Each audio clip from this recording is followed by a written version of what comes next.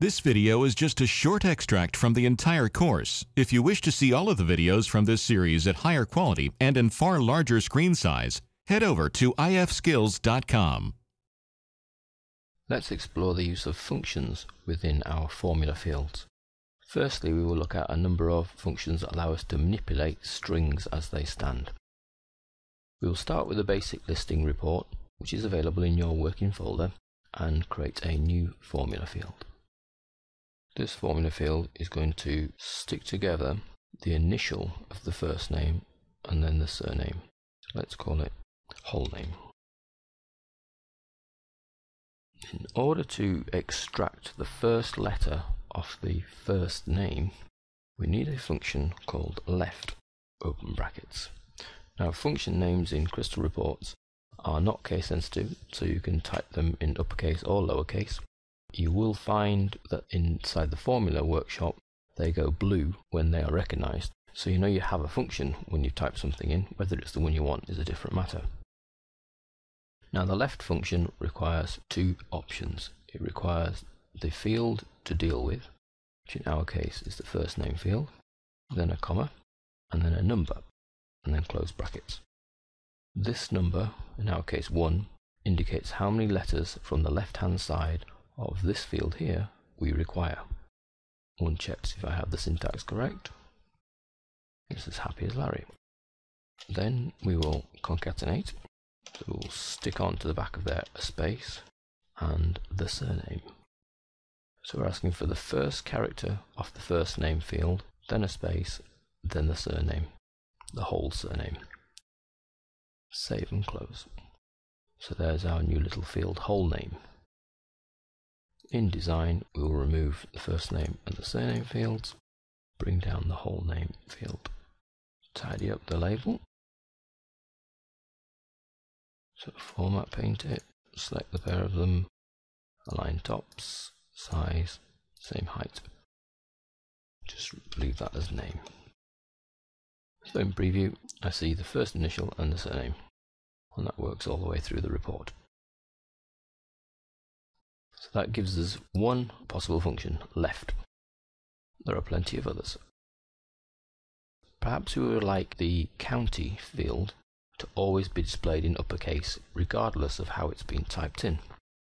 We can control that in new formula field. Call it uppercase county. Now to control the case, we either know what the function is, or we can start looking down the function section here to see if we can find the function we're after. So I expand out the function list. I know it's a string function I'm interested in, so we can expand that section out. I know uppercase normally begins with a U, and there's the function uppercase. Give that a double click, and the function drops into the bottom with the required brackets. I can see in the function window how many parts it requires, and all it requires is a string. So a field that is a string, and it will change it into uppercase. So I then need in here my county field, making sure that the whole field drops between the open and the close round brackets. Save and close. And in design I can throw away the normal county field and use my uppercase county field. Again, the label will need tidying up to match the format on here. Align tops, size, same height. Remove the extra little bit so it just says county and preview, I now have the counties in uppercase. There are a number of case controlling functions. If we revisit that formula, can see in here we have the uppercase to force whatever is placed in brackets into uppercase.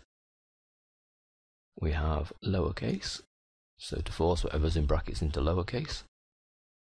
And we have proper case, which is sometimes referred to as title case, where the first letter of the word will be in uppercase, but the rest in lowercase.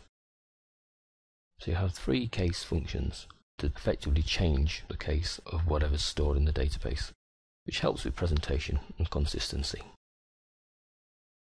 Change that to uppercase, use the left string there.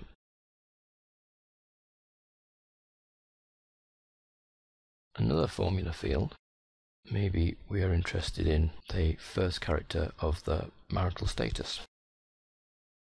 Marital status, single character. So I need my little left function, which if I take it from the formula list, you can see explains that you need a string and the length you're asking for. Double click, drops that to the bottom with the cursor flashing in the place, waiting for the marital status field, and then how many characters? Just one. Save and close. Design. I can drop that new field into place. Rename the label first this time for a change. And then tidy it up. Align tops, size, same height.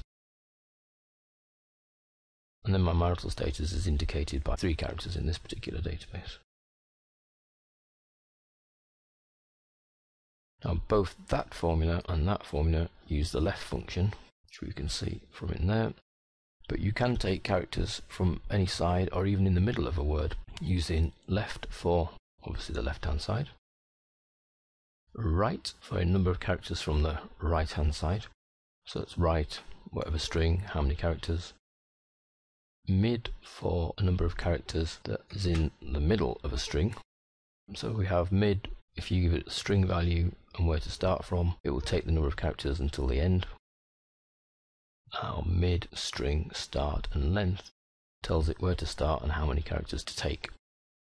Now that, and certainly the right, work well with a little function called length that tells you how long a string is.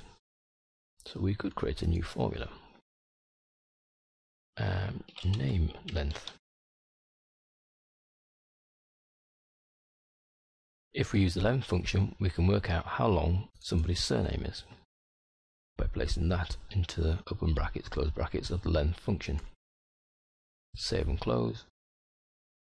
And we'll place that just in that little space left there.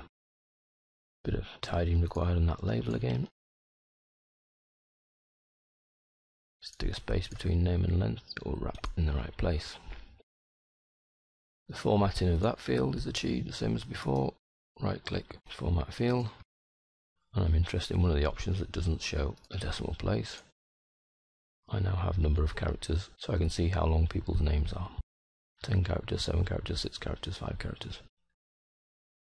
So you can see the string functions can actually prove quite useful to chop off the left hand side of characters, chop off the right hand side of characters, change the case of a data field, chop characters out the middle, find out how long a data field is, which can then be used inside other functions to make manipulative changes, and so on and wherefore.